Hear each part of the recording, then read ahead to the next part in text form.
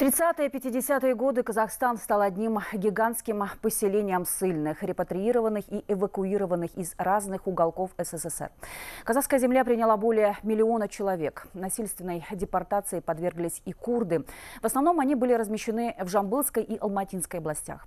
Большая семья Мамедовых с Кавказа оказалась в селе Баканас. Там пустили корни, обрели родину, но в их жизни был момент, когда уехали назад на историческую землю и тут же вернулись в Казахстан. Продолжение тему в материале нашего корреспондента. Холод, голод, грязные вагоны и долгий-долгий путь. Минута им казалась вечностью, а тем временем земля наматывала дни, недели и месяцы. Эшелоны шли медленно, но уверенно от Кавказа до Казахстана. Их депортировали только за то, что жили на пограничной полосе с Турцией. Курдскую семью Мамедовых высадили на побережье Балхаша. На дворе был 1937 год. Отец рассказывает, здесь огромные снега были, то столько снега, на Кавказе столько снега не бывает, и было холодно. Отправили наших родственников в Баканас, в село Байбахты. Отец рассказывал, нас очень хорошо встретили. И вот там мы проработали год, год прожили там. Ну, климат там, э, сказать, ну, такой песчаный климат, такой пустынный. А мы люди горные были, наш народ там начал болеть, не могли там жить. И поэтому в один прекрасный день наши как бы решили э, самовольно, э, не, поч... не встали здесь этот, они оттуда выселились и приехали сюда близ Алматы.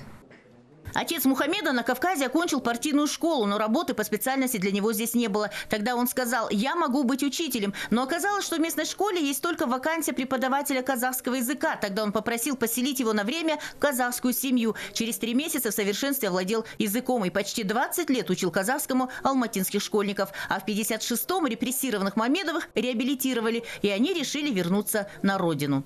И поехали на Кавказ. Менталитет казахского народа и менталитет вот народов, которые с Кавказа, чуть-чуть другой. А мы привыкли именно к этому менталитету, поэтому мы не ужились там, не смогли. И в 1958 году наши выехали обратно.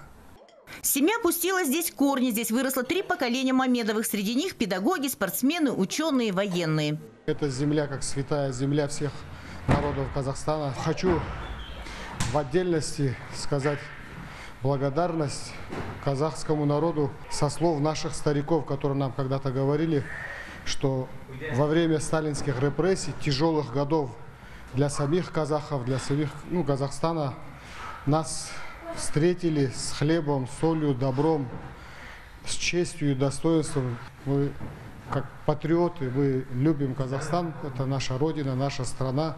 Наши старики говорили, мы здесь родились, мы здесь умрем. Казахстанские курды сохранили свой язык, национальные традиции, культуру. И в этом большая заслуга государства, которое объединило все этносы в единый народ казахстанцев, говорят они. Алма Уразбаева, Мухит Кудыкпаев, Алматыха, Бар 24.